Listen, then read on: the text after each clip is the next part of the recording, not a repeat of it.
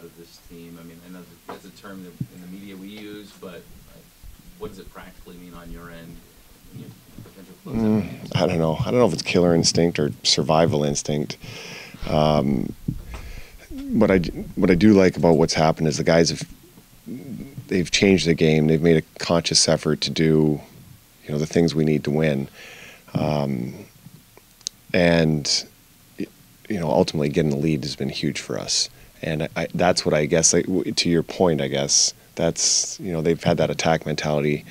Um, a you know in game five to start the game, and in game four when they scored first was to get two quick ones right after that. And so we've kind of taken momentum with them, whether that's killer instinct or whatever you call it. Uh, it's a pretty good response by the guys. What do you think? I'm gonna ask a question. What do you think uh, Ryan McDonagh's biggest impact?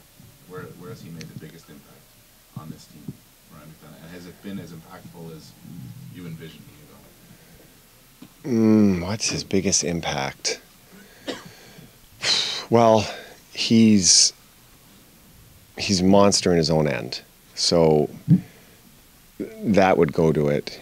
He munches minutes, so that alleviates a lot of pressure off 77 um, and five to a certain extent. Great on the penalty kill. Um, you know, so I his skating ability. I, I don't know. Like I, he, he's just he, he's made us a better defending team. I guess like is the best way I can put it. And um, you'd have to sit here and say, you know, like the guy we rely on the most at, at, to, you know, whether it's hold a lead or or what have you. He's probably been the guy that's come in there and cemented that for us. Um, and those guys are hard to find. Okay. Um, for the series, you were mentioning Chris Kunitz and his kind of role on the bench where he's talking through play as it's developing with guys. I'm just curious what kind of role a trait like that plays on a night like tonight. A trait Of, Oh, of, of Kunitz. Well, to me, that's a there's a ton of leadership involved there, and it, it keeps guys engaged. So when you have a quiet bench, they seem to, you know, guys, you got that fear of going to sleep.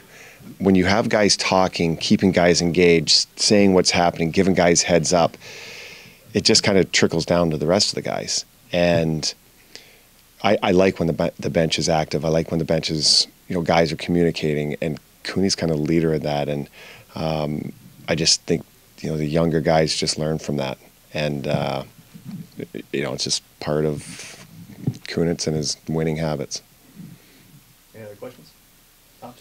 I don't know if you've been paying attention to the other series out west. Um, your thoughts on an expansion team reaching the Stanley Cup final? Well, they're, I mean, they're, they're a wonderful story. Um, I, I think, I don't, there's been talk of how could that happen or whatever. I'll, I'll tell you how it happened. They got an owner that hired an unreal GM. They got an unreal GM that hired an unreal coach. They were all left to do their jobs. They were given a framework to work with. They could have screwed it up or they could have done really well. And they chose to do really well. They played within the rules that were given to them and this is what you get. And I don't think it's, uh, I don't know, it's a success story, is what it is.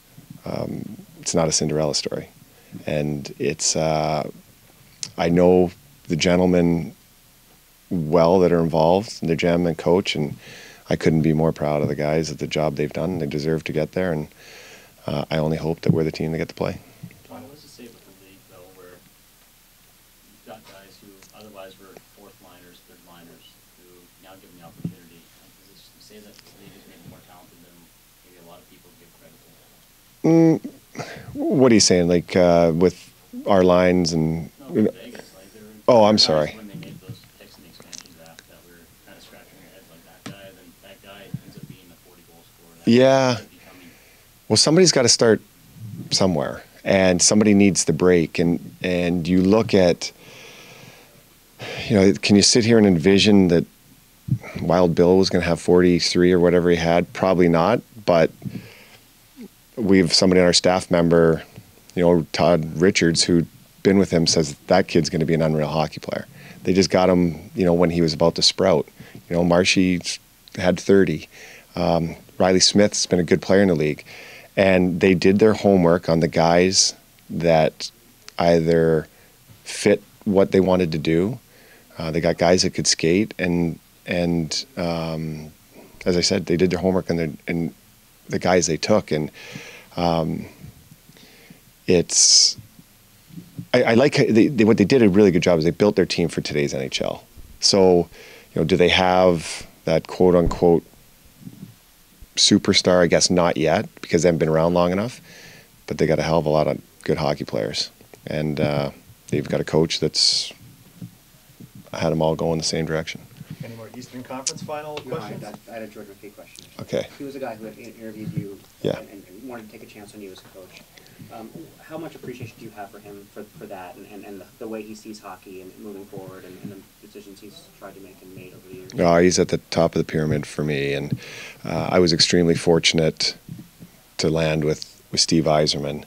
Um, but George was when I was coming up the ranks and going through my first interview process.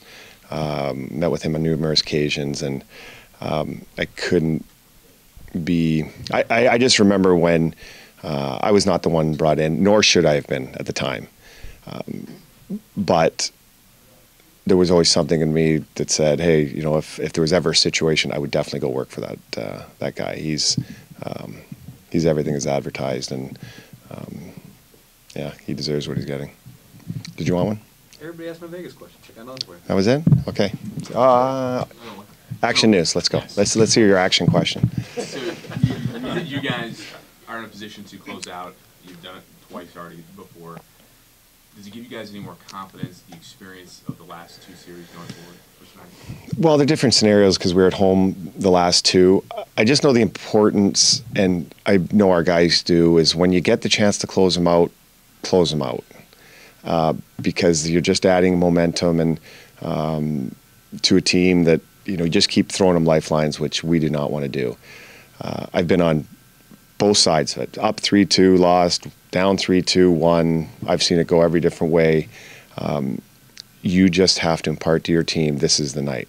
Like game seven's not an option. It's game six, and and uh, and let's end it. And you have to have that attitude.